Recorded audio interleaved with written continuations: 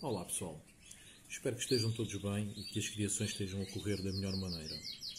Aqui no Canaril Santos Costa estão a começar as criações e já tenho vários casais no choco, tendo previsto o nascimento das primeiras aves na segunda semana de fevereiro.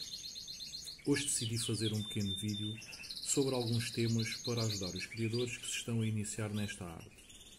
O objetivo do mesmo é alertar por forma a contornarem alguns erros que se cometem no início, os quais provocam por vezes o desânimo e desistência de alguns dos criadores novos. Como criador de aves há mais de 30 anos, ainda hoje estou sempre a aprender, pois nunca sabemos tudo. E existem sempre pontos a melhorar no nosso desempenho enquanto criadores.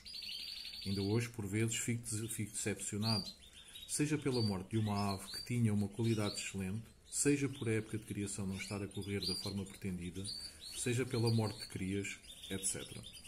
Daí, ser muito importante ser resiliente, não desistir à primeira dificuldade e ter uma mente aberta, não pensar que sabemos tudo e comunicar com outros criadores para obtermos mais conhecimento.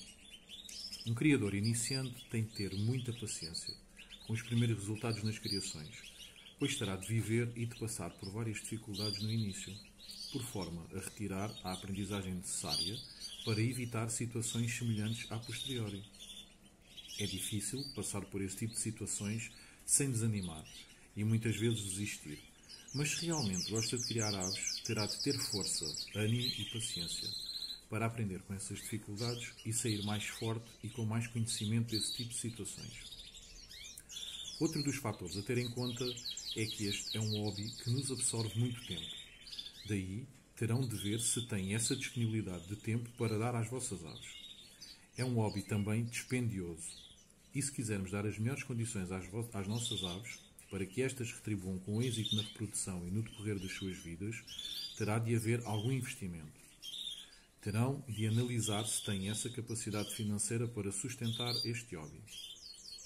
Para evitar algumas das dificuldades e decepções no início das vossas vidas de criador, existem alguns itens a seguir, dos quais destaco os seguintes.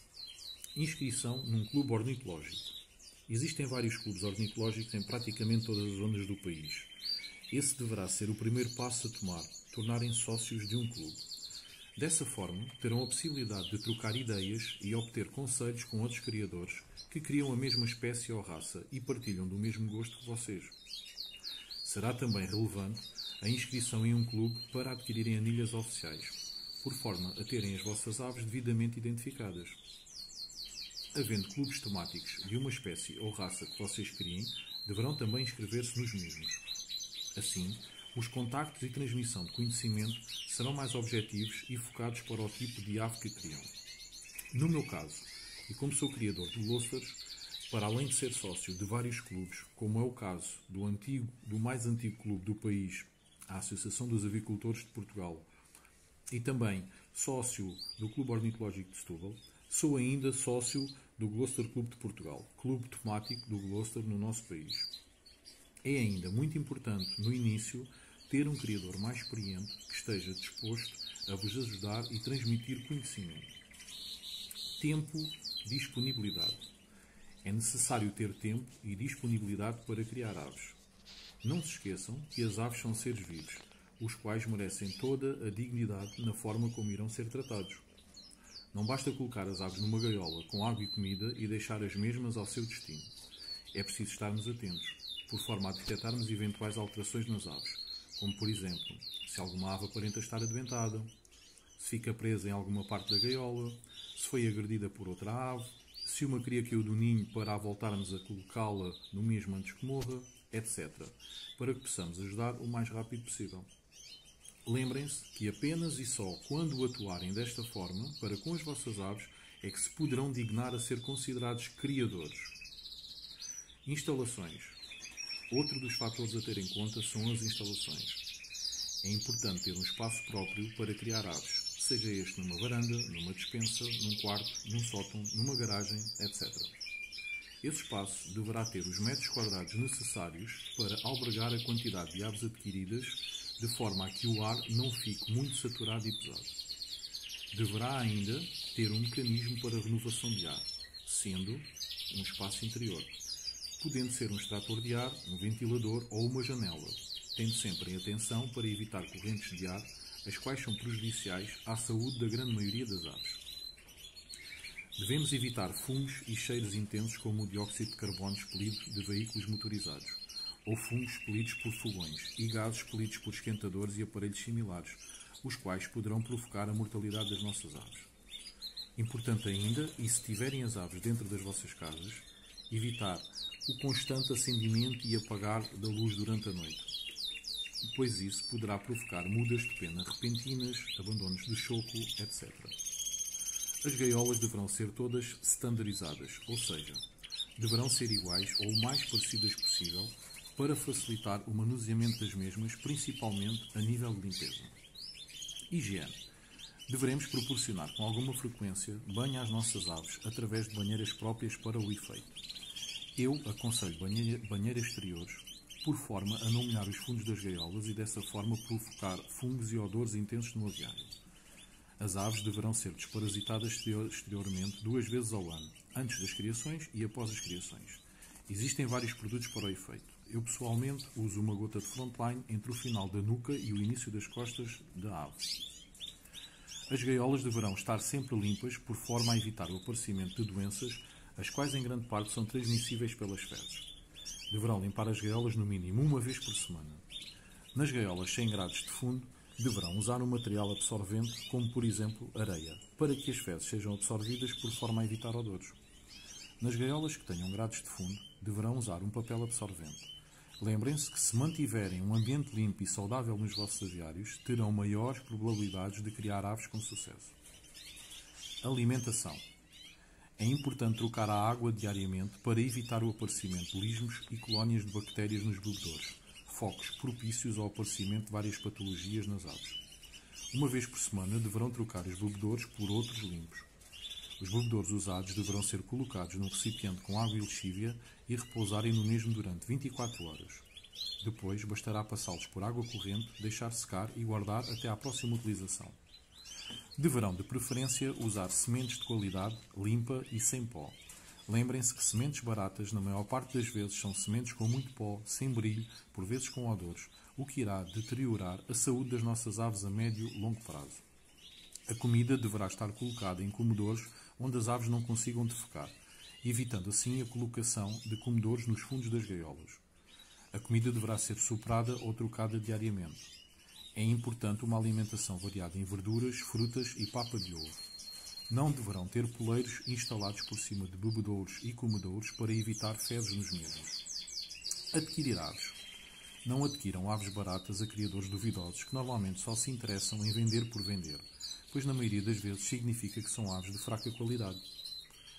Não adquiram aves com aspecto de estarem doentes, por muito que o Criador vos diga que a ave em questão sempre foi assim e que esse é o seu estado normal. De preferência, peguem nas aves que irão adquirir, para se aperceberem se as mesmas estão magras, se têm quistos, se têm piolhos, etc. Tentem começar com aves de qualidade média-alta, junto de um criador com um bom nome e minimamente conhecido no meio da avicultura. Dessa forma, terão uma base genética de melhor qualidade e as probabilidades de tirar descendência fraca será muito baixa. Para tal, terão de despender algum dinheiro. Por isso, e como já foi referido anteriormente, é importante na hora de decidirem se realmente querem iniciar este hobby, de terem esse fator em consideração. Lembrem-se, as probabilidades de sucesso serão maiores começarem com um ou dois casais de qualidade média alta do que se iniciarem com cinco ou seis casais de qualidade fraca. É também importante, e sempre que possível, visitar o local de onde vêm as aves adquiridas. Assim, conseguem ter a percepção das condições onde as aves viviam e do brilho do Criador que vos está a ceder as aves. Outra situação importante é evitarem adquirir aves em plena época de criação da espécie em questão. Infelizmente, e na maioria das vezes, as aves dispensadas nessa altura são aves que ou não estão a colocar ovos ou não estão a galar, entre outro tipo de situações é preferível adquirirem as aves um pouco antes do início das criações. Escolhas das aves a adquirir. Não deverão cair na tentação de adquirirem todas as espécies e raças de aves que vejam à venda e que os atraiam.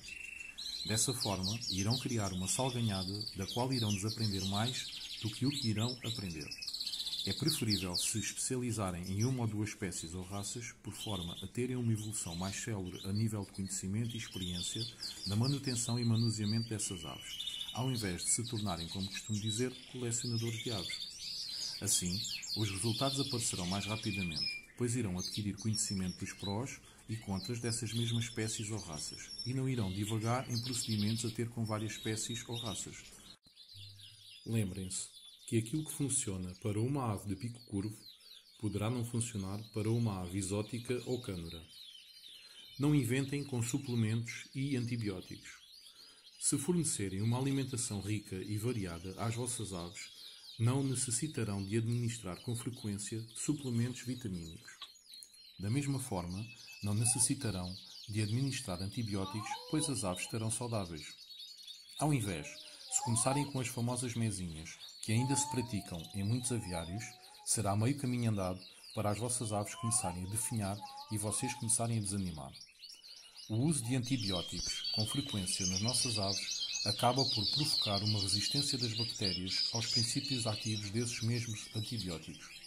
Assim, quando for realmente necessário administrar um determinado antibiótico devido à ave padecer de alguma patologia, o mesmo terá pouco ou nenhum efeito, pois as bactérias que estão a colocar as aves doentes ganharam resistência a esse mesmo princípio ativo.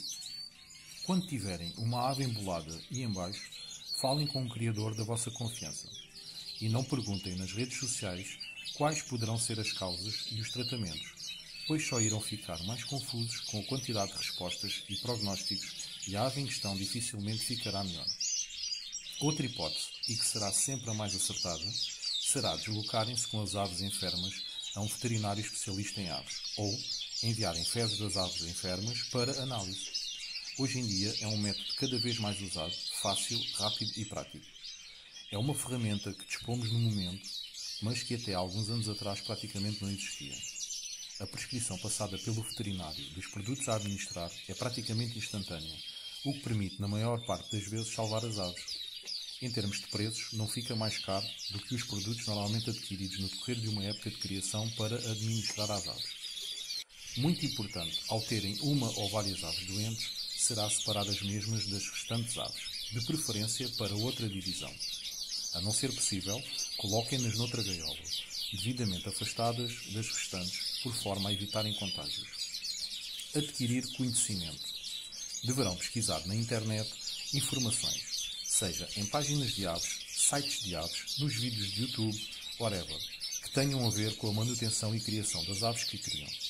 Hoje em dia existe muita informação divulgada nas redes sociais, tornando mais fácil a aprendizagem e o apoio a um criador iniciante, ao contrário do que acontecia há 20 ou mais anos atrás. De qualquer das formas, será sempre importante saber filtrar da melhor maneira possível toda a informação que circula nas redes sociais, pois nem sempre são as mais corretas. Importante também será visitar vários aviários para terem noção de como esses criadores criam as suas aves, quais as condições disponibilizadas, etc. Poderão, ainda junto de um clube ornitológico, colocar questões e dúvidas que tenham. Existem ainda alguns livros e revistas importantes para ter no aviário, os quais também poderão ajudar com algumas dicas. Infelizmente, em Portugal, não existem muitas publicações especializadas nesta arte, tendo de recorrer a publicações estrangeiras. Lembrem-se, e volto a frisar, que só se poderão considerar criadores de aves a partir do momento em que se comprometam a proporcionar as melhores condições possíveis às vossas aves. Espero que estas dicas vos ajudem a iniciar a vossa vida de criador, a qual dá muito trabalho, consome muito do vosso tempo, mas que nos retribui e provoca muita paixão um sentimento de bem-estar e felicidade e também o florescer de algumas amizades que se vão criando ao longo deste caminho. Boas criações, pessoal. Um forte abraço a todos.